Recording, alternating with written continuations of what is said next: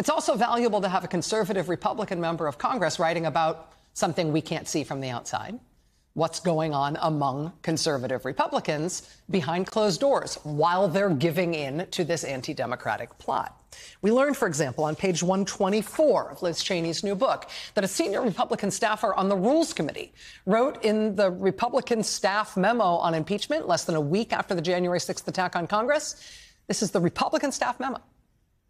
The person wrote that Trump had committed impeachable offenses calling what Trump did, quote, a serious act political in nature that corrupted or subverted the political process and threatened the order of political society.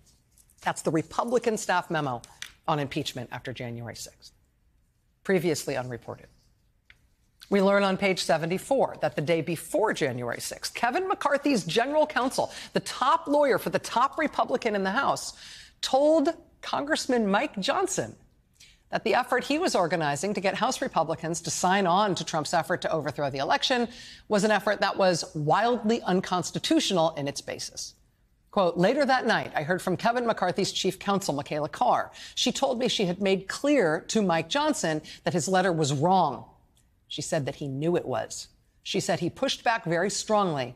Excuse me. She said she pushed back very strongly when they discussed it that afternoon.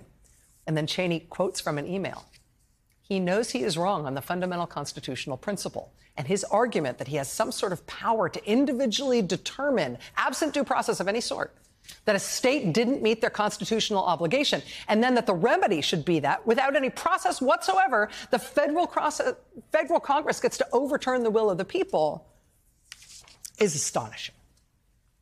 Astonishing. That's the top lawyer serving the top Republican in the House, telling him that what he's doing is unconstitutional as he's doing it. Mike Johnson, of course, is now no longer just an anonymous backbench member of Congress. He's now the leader. He's now the Republican Speaker of the House.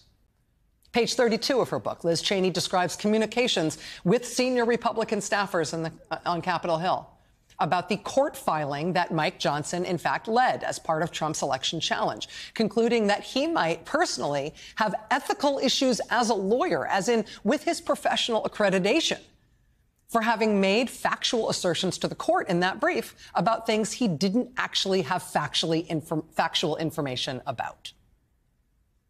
As you know, lots of Trump lawyers have faced professional punishment for lies they told on Trump's behalf after the election. Liz Cheney, in her new book, effectively asserts that the House Speaker, Mike Johnson, might be one of those lawyers.